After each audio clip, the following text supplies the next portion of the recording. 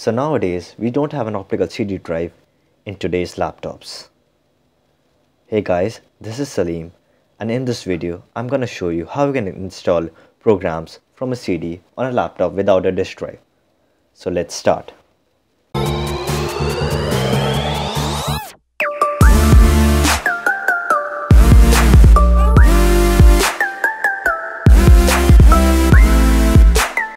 So first things first, we do need a laptop with a CD drive on it and we have to be connected on the same network. So let's go. So we go into File Explorer. See, this is the laptop with CD drive in it. So DVD, right click on the DVD or CD drive, select Properties, Sharing, click on Advanced Sharing, click on Share this folder um, share name. I'll write it as test hit apply.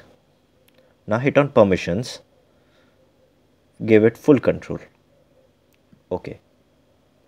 Okay. Close. So you see the icon over here? This means that this is shared.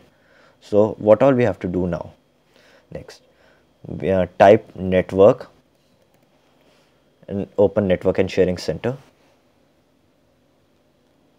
change advanced set sharing settings.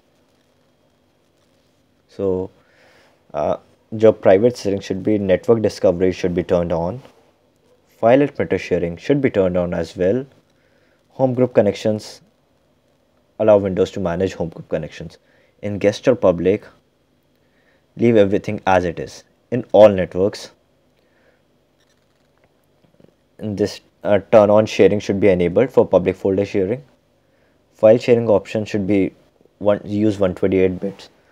It's windows default so i didn't change it. Now we come to the most important part password protected sharing. So it is turned on by default. Turn it off. And save changes. Cool. Now go to control panel. And type credentials so you have credentials manager. Now type select windows credentials add a windows credential. Now any network address. Like I'll, I'll type work or test a username. So here goes my username and my password. Hit on ok okay now we are done on a computer with a CD drive on it. So let's move to the computer without a CD drive. So here's my laptop that doesn't have a CD drive. Hit on file explorer. Okay so you see there's no CD drive right? Now computer. Map a network drive. Click on it map network drive now select any drive you want. Now the folder. Click on network. Let it populate. So my my desktop is this. FED5Q31 so I'll type in the credentials. So we had work as a network address. We'll um, do a front slash and then a username and then a password. Okay. So see we, named it test so here it is test. Cool. Hit ok finish. Now you see test drive network locations. Okay. Now click on this.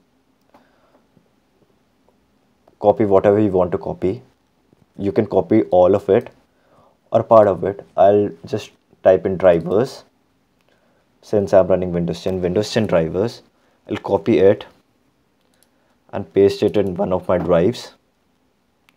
So I'll like paste it here. I have already pasted it so I'll not paste it again. See? I've already pasted it.